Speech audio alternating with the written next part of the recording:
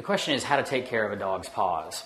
Well, paws do get into a lot of trouble, um, mainly because they touch the ground, of course. And so there are a lot of things that can go wrong. Um, taking care of paws involves making sure that the nails are nice and short.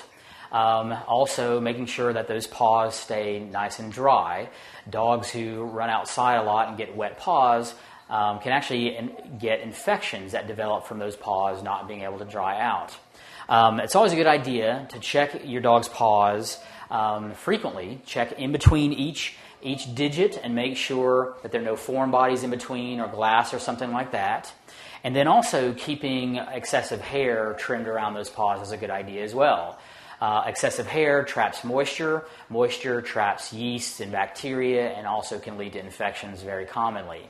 So, keeping the nails nice and short prevents fractures um, and, and getting nails caught in things. Uh, keeping the hair and keeping those, those pads dry will also keep or prevent infections from building up as well. On the bottom, those, those hard pads are actually quite um, can be quite painful if they get injured. So just be careful, make sure there are no cracks or lacerations or things in your dog's paws as well. But frequently check your dog's paws and make sure that they're okay.